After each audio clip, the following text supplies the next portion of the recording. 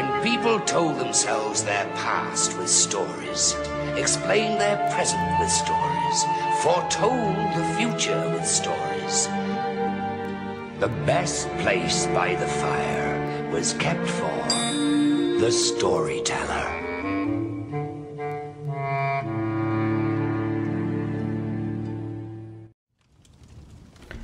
The Ascension of Christ from the Mystical City of God by the mystic Venerable Mary of Agreda, Book 6, Chapter 12.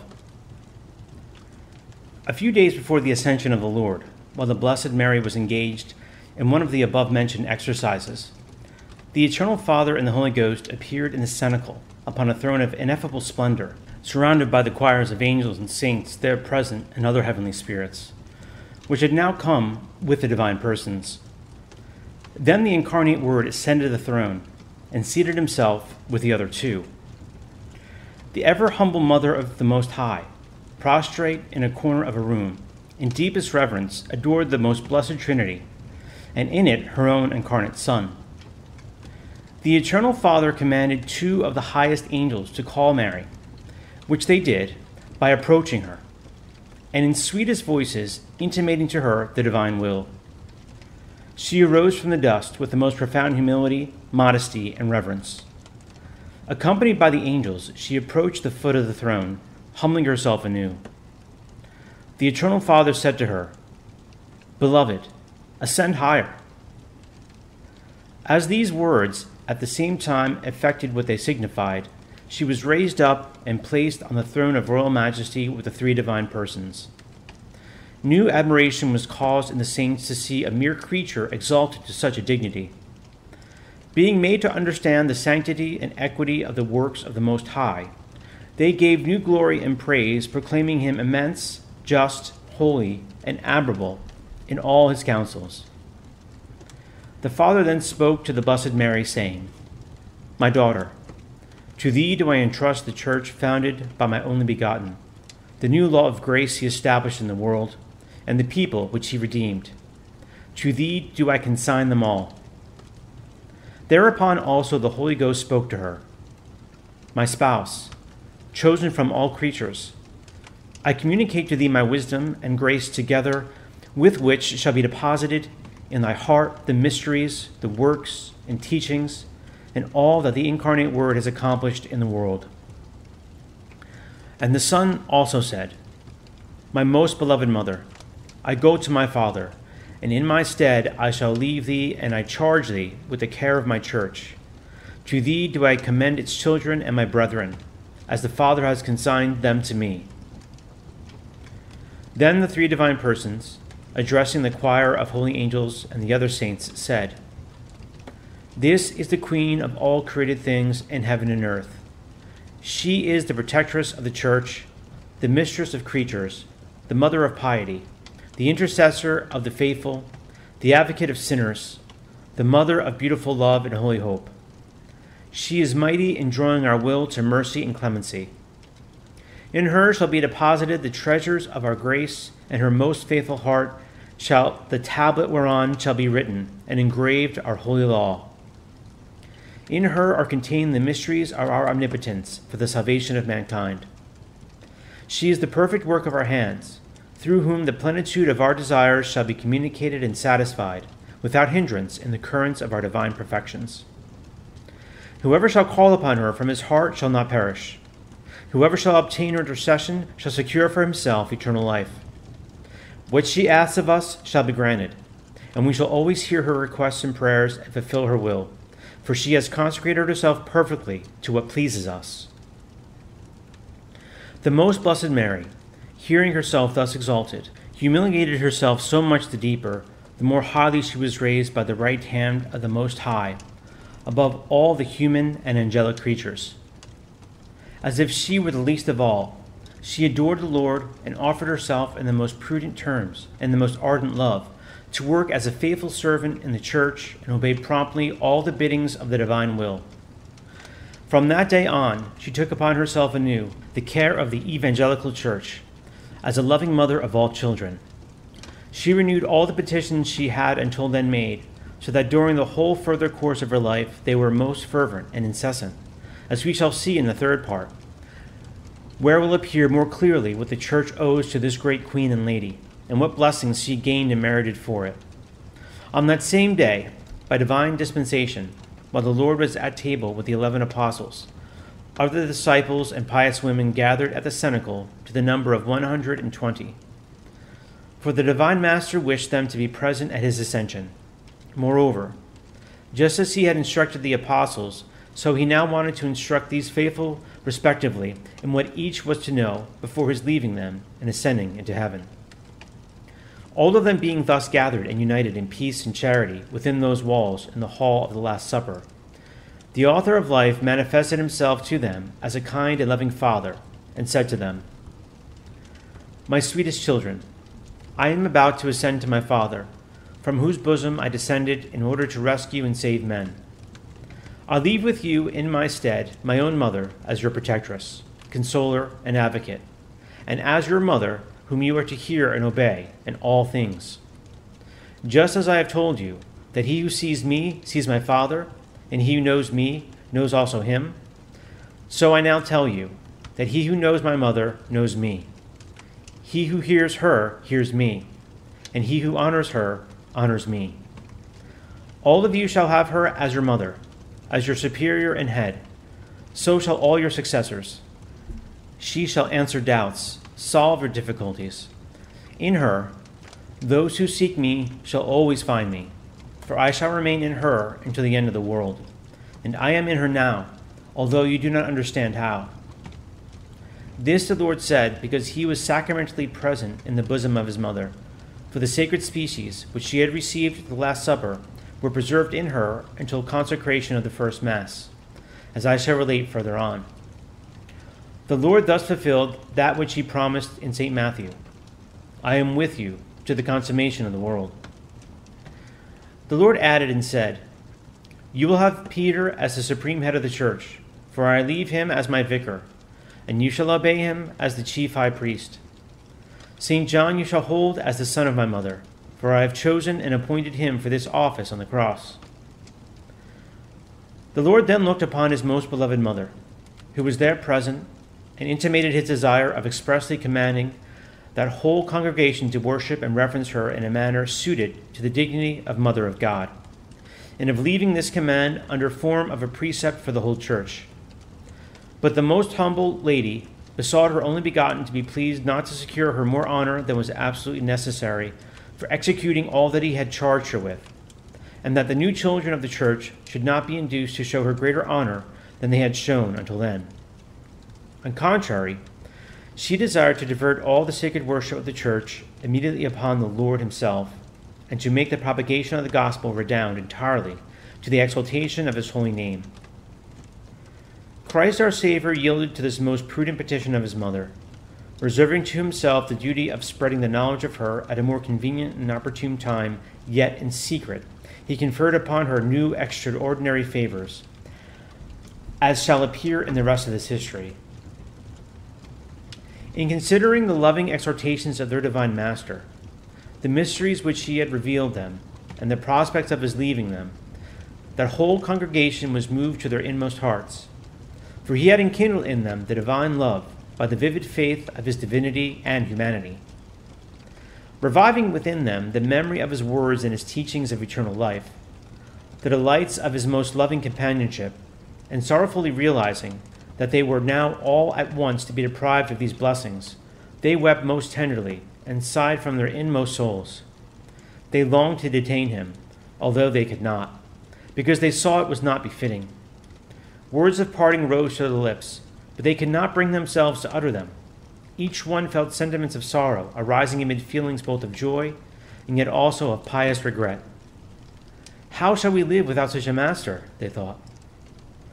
Who can ever speak to us such words of life and consolation as he? Who will receive us so lovingly and kindly? Who shall be our father and protector? We shall be helpless children and orphans in this world. Some of them broke their silence and exclaimed, O most loving Lord and Father, O joy and life of our souls, now that we know Thee as our Redeemer, Thou departest and leavest us. Take us along with Thee, O Lord. Banish us not from Thy sight. Our blessed hope, what shall we do without thy presence? Whither shall we turn if thou goest away? Whither shall we direct our steps if we cannot follow thee, our Father, our chief, and our teacher?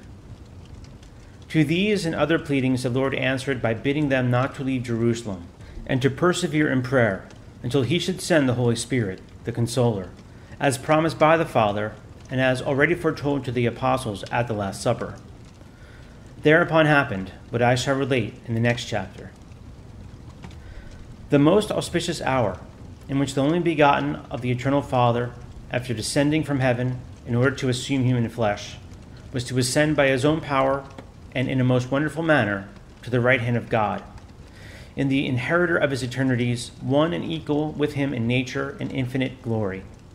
He was to ascend also because he had previously descended to the lowest regions of the earth, as the apostles say, having fulfilled all that had been written and prophesied concerning his coming into the world, his life, death, and the redemption of man, and having penetrated, as the Lord of all, to the very center of the earth.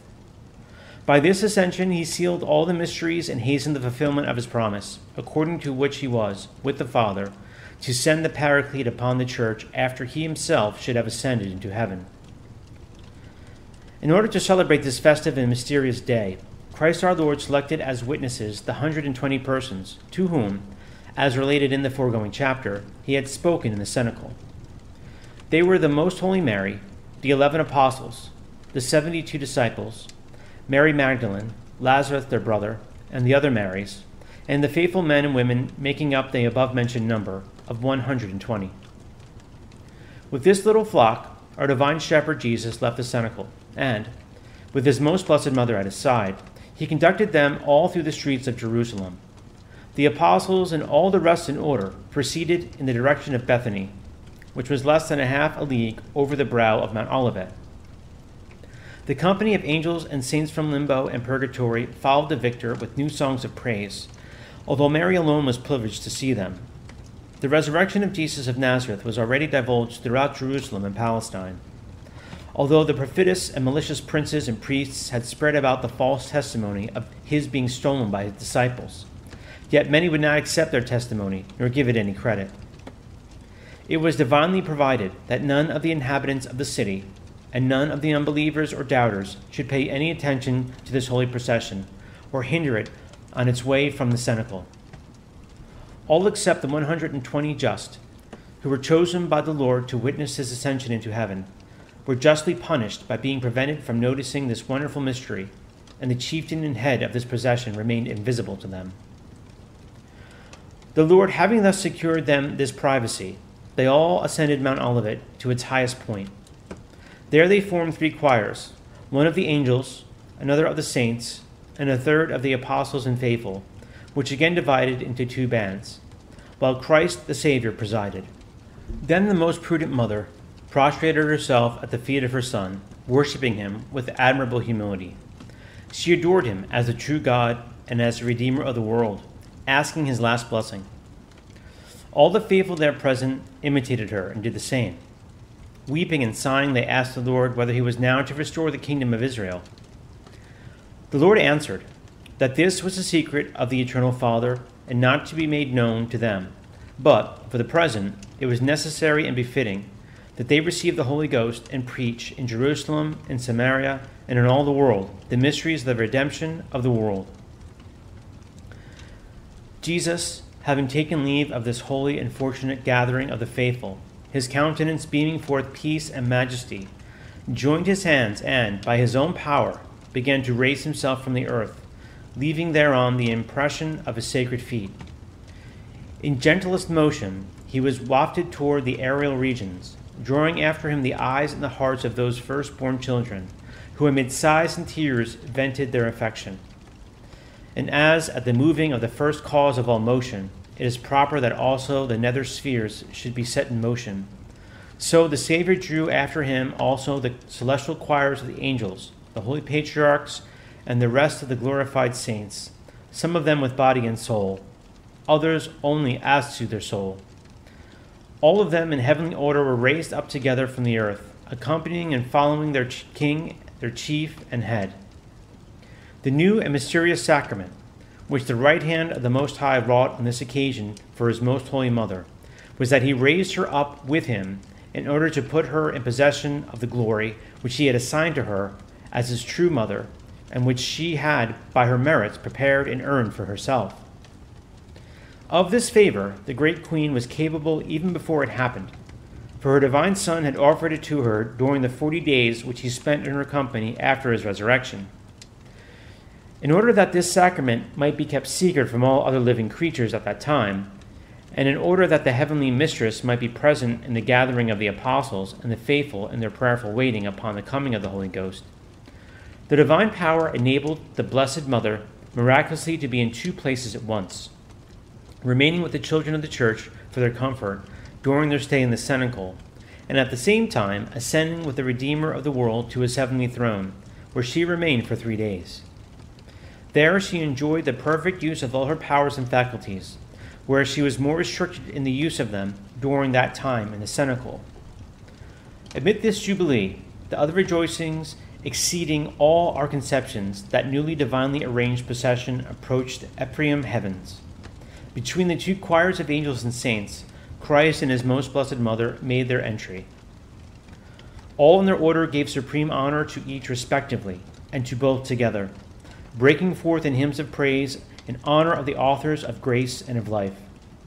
Then the Eternal Father placed upon the throne of his divinity at his right hand the incarnate Word, and in such glory and majesty that he filled with new admiration and reverential fear all the inhabitants of heaven. In clear and intuitive vision, they recognize the infinite glory and perfection of the divinity, inseparably and substantially united in one personality to the most holy humanity, beautified and exalted by the preeminence and glory due to this union, such as eyes have not seen, nor ears heard, nor ever has entered into the thoughts of creatures. On this occasion, the humility and wisdom of our most prudent queen reached their highest point, for, overwhelmed by such divine and admirable favors, she hovered at the footstool of the royal throne, annihilated in the consciousness of being a mere earthly creature. Prostrate, she adored the Father and broke out in new canticles of praise for the glory communicated to his Son and for elevating in him the deified humanity to such greatness and splendor. Again, the angels and saints were filled with admiration and joy to see the most prudent humility of their queen, whose living example of virtue, as exhibited on that occasion, they emulated among themselves in copying. Then the voice of the Eternal Father was heard saying, My daughter, ascend higher. Her divine Son also called her, saying, My mother, rise up and take possession of the place which I owe thee for having followed and imitated me. The Holy Ghost said, My spouse and beloved, Come to my eternal embraces. Immediately was proclaimed to all the blessed the decree of the most holy Trinity, by which the most blessed Mother, for having furnished her own lifeblood toward the Incarnation, and for having nourished, served, imitated, and followed him with all the perfection possible to a creature, was exalted and placed at the right hand of her Son for all eternity. None other of the human creatures should ever hold that place or position, nor rival her in the unfailing glory connected with it but it was to be reserved to the queen, and to be her possession by right after her earthly life, as of one who preeminently excelled all the rest of the saints. In fulfillment of this decree, the most blessed Mary was raised to the throne of the Holy Trinity at the right hand of her Son. At the same time, she, with all the saints, was informed that she was given possession of this throne not only for all the ages of eternity, but that it was left to her choice to remain there even now and without returning to the earth. For it was the conditional will of the divine persons that, as far as they were concerned, she should now remain in that state. In order that she might make her own choice, she was shown anew the state of the church upon earth, the orphaned and necessitous condition of the faithful, whom she was left free to assist. This admirable proceeding of the divine providence was to afford the Mother of Mercy an occasion of going beyond, so to say, even her own self in doing good, and in obliging the human race with an act of love similar to that of her Son, in assuming a passible state, and in suspending the glory due to his body during and for our redemption. The most blessed Mother imitated him also in this respect, so that she might be in all things like the incarnate Word. The great lady, therefore, having clearly before her eyes all the sacrifices included in this proposition, left the throne and, prostrating herself at the feet of the three persons, said, Eternal and Almighty God, my Lord, to accept at once this reward, which thy condescending kindness offers me, would be to secure my rest. But to return to the world and continue to labor in mortal life for the good of the children of Adam and the faithful of thy holy church would be to the glory and according to the pleasure of thy majesty, and would benefit my sojourning and banished children on earth. I accept this labor and renounce for the present the peace and joy of thy presence. Well do I know what I possess and receive, but I will sacrifice it to further the love thou hast for men. Accept, Lord and Master of all my being, this sacrifice, and let thy divine strength govern in the undertaking confided to me. Let faith in thee be spread. Let thy holy name be exalted. Let thy holy church be enlarged, for thou hast acquired it by the blood of thy only begotten and mine. I offer myself anew to labor for thy glory and for the conquest of the souls as far as I am able. Such was the sacrifice made by the most loving mother and queen, one greater than ever was conceived by creature. And it was so pleasing to the Lord that he immediately rewarded it by operating in her those purifications and enlightenments which I have at other times mentioned as necessary to the intuitive vision of the divinity. For so far she had on this occasion seen only by abstractive vision. Thus elevated, she partook of the beatific vision and was filled with splendor and celestial gifts, altogether beyond the power of man to describe or conceive in mortal life. In order to finish this chapter, and with it this second part, I return to the congregation of the faithful whom we left so sorrowful on Mount Olivet. The Most Holy Mary did not forget them in the midst of her glory, as they stood weeping and lost in grief, and, as it were, absorbed in looking into the aerial regions, into which the Redeemer and Master had disappeared. She turned her eyes upon them from the cloud on which she had ascended, in order to send them her assistance. Moved by their sorrow, she besought Jesus lovingly to console these little children, whom he had left as orphans upon the earth. Moved by the prayers of his mother, the Redeemer of the human race sent down two angels in white and resplendent garments, who appeared to all the disciples and the faithful and spoke to them Ye men of Galilee, do not look up to heaven in so great astonishment, for this Lord Jesus, who departed from you and has ascended into heaven, shall again return with the same glory and majesty in which you have just seen him. By such words and others, which they added, they consoled the apostles and disciples and all the rest so that they might not grow faint, but in their retirement hope for the coming and the consolation of the Holy Ghost promised by their divine Master. And now the words of the Queen.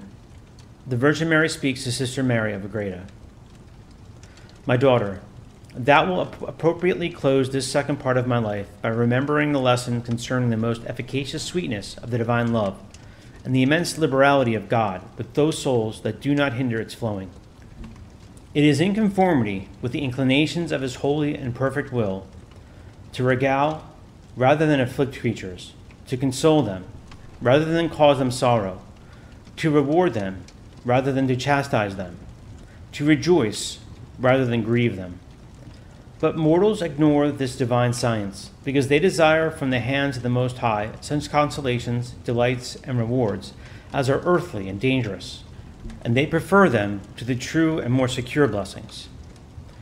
The divine love then corrects this fault by the lessons conveyed in tribulations and punishments. Human nature is slow, coarse, and uneducated, and if it is not cultivated and softened, it gives no fruit in season, and on account of its evil inclinations, will never of itself become fit for the most loving and sweet interactions with the highest good. Therefore, it must be shaped and reduced by the hammer of adversities, refined in the crucible of tribulation, in order that it may become fit and capable of the divine gifts and favors, and may learn to despise terrestrial and fallacious goods, wherein death is concealed. I counted for little all that I endured, when I saw the reward which the divine goodness had prepared for me, and therefore he ordained, in his admirable providence, that I should return to the militant church of my own free will and choice. This I knew would redound to my greater glory and to the exaltation of his holy name, while it would provide assistance to his church and to his children in an admirable and holy manner. It seemed to me a sacred duty that I deprive myself of the eternal felicity of which I was in possession, and, returning from heaven to earth, gain new fruits of labor and love for the Almighty. This I owe to the divine goodness, which had raised me up from the dust. Learn, therefore, my beloved, from my example, and excite thyself to imitate me most eagerly during these times, in which the Holy Church, so disconsolate and overwhelmed by tribulations, and in which there are none of her children to console her. In this cause I desire that thou labor strenuously, ready to suffer in prayer and supplication, and crying from the bottom of thy heart to the Omnipotent. And if it were necessary, thou shouldst be willing to give thy life. I assure thee, my daughter, thy solicitude shall be very pleasing in the eyes of my divine Son and in mine. Let it all be for the glory and honor of the Most High, the King of the ages, the immortal and invisible, and for that of his mother, the most blessed Mary, through all eternities.